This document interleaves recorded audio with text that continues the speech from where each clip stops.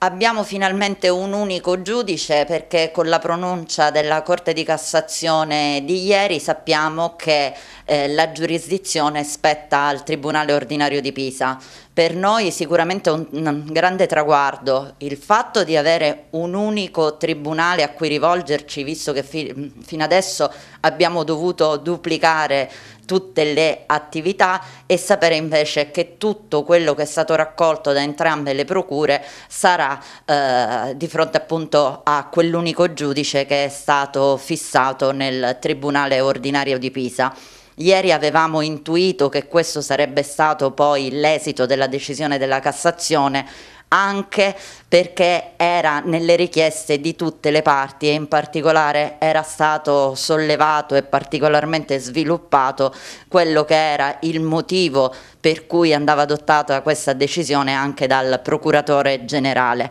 Adesso possiamo concentrarci sulla prossima tappa che è quella già fissata per il 29 marzo davanti al GUP Murano che è appunto a Pisa. Avevano alla scorsa udienza le parti anticipato che qualora la giurisdizione fosse toccata proprio a Pisa avrebbero potuto avanzare delle richieste per riti alternativi e quindi si era parlato informalmente del rito abbreviato. Il 29 marzo scopriremo se gli imputati confermeranno questa anticipazione informale che avevano eh, già dato oppure no. Ovviamente ora anche loro sono nelle condizioni di poter fare adeguatamente le loro valutazioni sapendo quale sarà il tribunale che si pronuncerà, cosa che appunto fino ad ora non, non c'era. Eh, noi in teoria avremmo dovuto avere già dopodomani un'altra udienza davanti al tribunale militare, invece adesso sappiamo che quell'udienza non ci sarà, per cui riteniamo appunto che il 29 marzo ci sarà la decisione da parte degli imputati e sapremo quali saranno le forme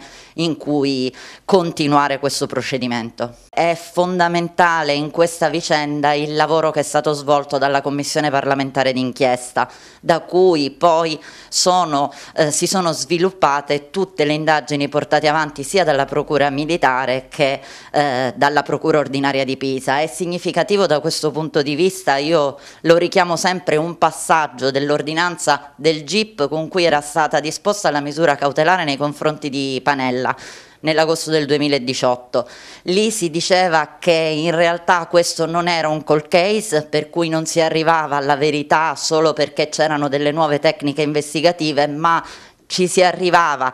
comunque a questo procedimento, quindi ad avere degli indagati a poter approfondire delle indagini solo perché c'era stata una testarda continua e approfondita ricerca della verità attraverso l'esame di tutta quella documentazione che era già stata raccolta ai tempi. In effetti è evidente, questo emerge anche dall'analisi eh, dell'attività di indagine svolta appunto da entrambe le procure che gli elementi da cui partire erano già eh, presenti 21 anni fa, quindi abbiamo sprecato tutto questo tempo, ma quello che ci interessa è che oggi finalmente abbiamo un procedimento.